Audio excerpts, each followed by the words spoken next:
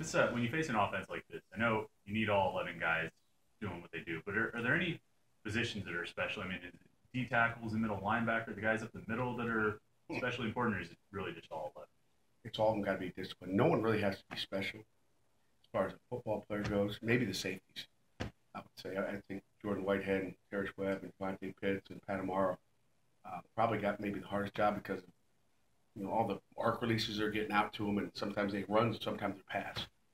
You run by one of those guys to, to stop an option, and he runs by you. You know you don't know what he's doing. Is he running the route or is he?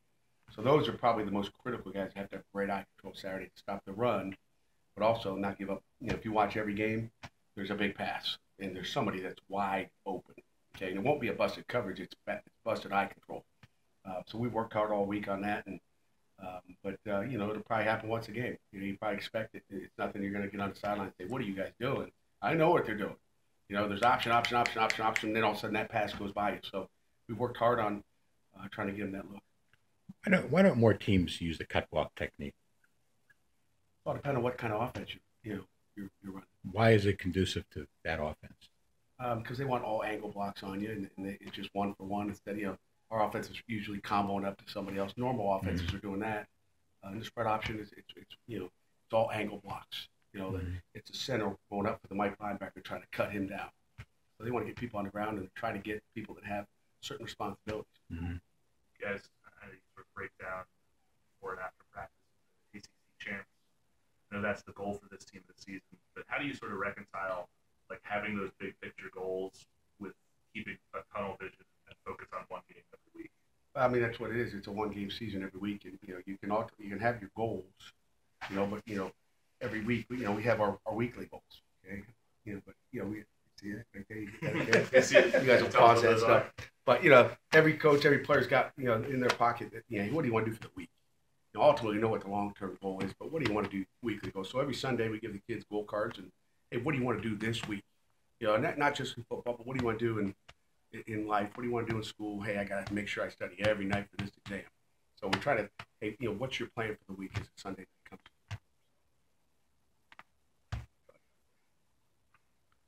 How has your, how has your team been in that regard? Uh, you know, dividing up football, academics, and everything they've done a doing. nice job. You know, talking to Mike Farabum, academically, they're doing a nice job.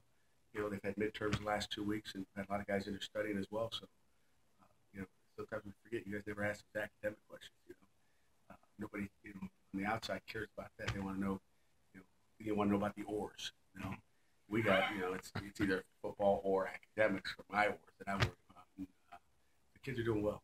Who's the best student on the team? Gosh, we got a few. There's not one best. You know, we, we, we got a few.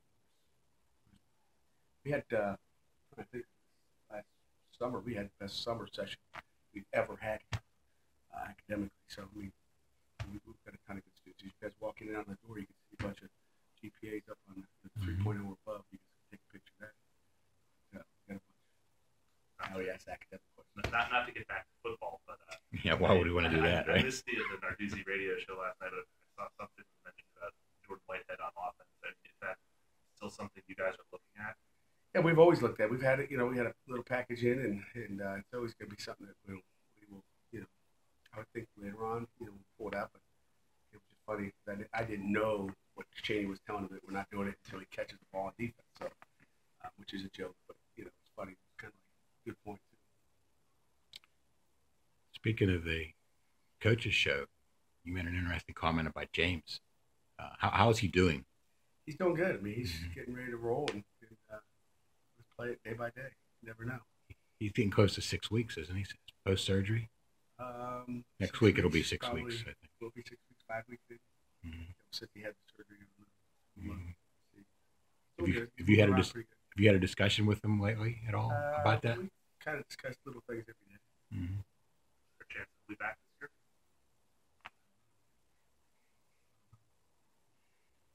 How's Jared doing? Jared's doing great. He's doing great. He, he might be ready for the bowl game if really want to get it going. He's doing Could he start practicing at some point? Uh, you could, but you know, why? he wouldn't play four wrong there, but he probably could. Uh, he probably could start practicing. James is squatting. Start squatting. Sort of a random guy. But Alan Edwards, taking the red shirt this year, but is that a case of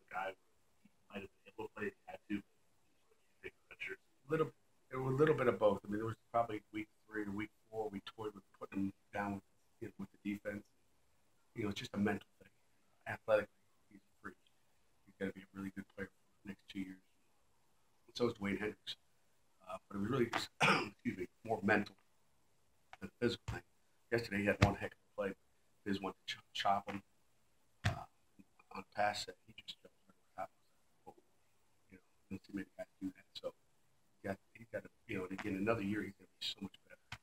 So it's kind of like we can mess with him now. It's like give him a, kind of another mid-season tryout. And mentally is what he end up getting. So you're better off playing with a lesser athlete that he's than great athlete that might might stick it to you. Is it safe to say this last season, the freshmen guys who haven't played this year probably are going to take red shirts? Say we're close to that. You never know. You know, we've had to take the red off guys last game of the season. So you never know. Mean, it all depends on the injuries. Hopefully, hopefully that's A couple weeks ago, you, or maybe once or twice, you had Reggie on your in- injury list, but he wasn't on last week and he didn't play. Is his injury a little more serious than what you originally thought?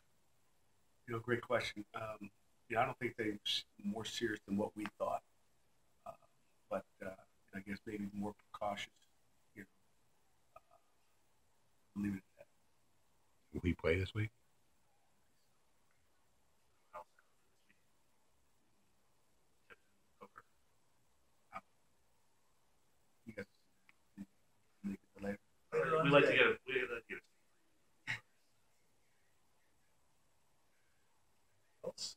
Oh, yes. I was supposed to ask you about Le'Veon Bell. Can you talk a little bit about him and what he meant to the program, you know, both on and off the field, and specifically if his patient running style was a little, little difficult, you know, for a defense to handle? No, he is a very patient backer. Sometimes he'd get up there and dance, dance, dance, and then bang, and then he'd hurdle somebody. But, you know, Le'Veon Bell, you know, first of all, was a super, super kid for all the years he was up at Michigan State West. And uh, there's not a better kid we had in the program. And he's one of those guys that loved the game not a guy that plays football for a paycheck. He's playing football because he loves the game of football. Uh, he's, he's, like I said, he's a great kid. He's fun, always smiling. What you see on game day, what you, you see probably every day out of guy, uh, has, has a blast. And the one thing I remember about Le'Veon is just his mode of practice. That guy practices like he plays. And, you know, I'll remember some late scrimmages late in his career, whether it be the spring game before his last year Michigan State or the last scrimmage before the season started. You know, our coaches try to take him out of the game. It's like I'm sitting up in the press box, you know, calling scrimmage. Well, why is he still in the game? What are we doing? Trying to get this guy hurt or something? But he wouldn't come out. He just, you know, he's a guy that likes to likes to play the game. He just loves football. Uh, you know, he's he's a he's a football rat. So he's got a he's got a motor and he's got a great work, work ethic. As you can tell by what he looks like. You know, juice, Did he adopt that patient style here, or did he always have that in college? No, I don't know. If, you know, I can't, I don't remember freshman year, but I would imagine that's his style and what he's always done. He's been very patient to find a hole, and uh, I think if I recall, there was some times where you know, our our uh, running back coach and offensive coordinator was like, "Hey, Le'Veon, will you just hit it up in there too?" You know, sometimes you can you know run into a wall, just hit it up in there. But as it went on, you just remember seeing him go up there, go up there, and you're like, "Oh, there's nothing there." All of a sudden, whoop, he found something. So he's always been a patient runner. I'm not sure if that's something he developed there. As a coordinator, is that something you have to look out for? A defensive coordinator. It's hard to look for it. Mean, you got to play defense and you got to hit your gaps and you got your D line's got to penetrate and, and, do your job. But uh, you, know, you know, you can't look for guys. I mean, you coach, you talk about it where you might not hit it as fast. Everybody's got to be more patient with where they got to hit. But, you know, you don't know as soon as you start to be patient, you know, he sticks it up in there. It all depends on what holes. You know, the thing, the interesting thing about Le'Veon Bell at Michigan State is in all his years there, not ever Okay, you got to go back and look. At was never an NFL offensive lineman. So it wasn't like he had some, you know, was looking at some of those Alabama tailbacks. You know, he had three NFL linemen who were drafted the same year as that guy. This guy was doing, you know, I'm gonna say by himself because he was five back block. They were first, second, third round. They weren't drafted players. Never drafted players. Still hasn't been here. So those tailbacks he had some years ago, you know, might be. Maybe one more random one for you. Just, uh, little beer news in Florida this week. Getting suspended for the over the counter. What, what do you tell your guys about supplements, that kind of stuff? Well, everything they need really is, in that cafeteria got really. We talked when we addressed the situation too. You never know what sometimes your GNC, your GNC doesn't have it's a legal vitamin, but it's not legal by the NCAA, so you don't ever know. But uh, you know, we have our trainers got little, I don't know what it's called, but they can go through and go in our kids' locker, s- you know, scan it, kind of like you scan you know, stuff, just to see if it's hey, that's no good. You know, oh, this is good. So yeah, got something like that. So it's amazing the technology you have. So you know, we try to you know make sure we check out our kids and make sure we know what they're taking. That's our trainer's job, our strength coach's job. I haven't been down to locker room stuff. You know, I got to take my multivitamins. So I need. Thank you. Thanks, Pat.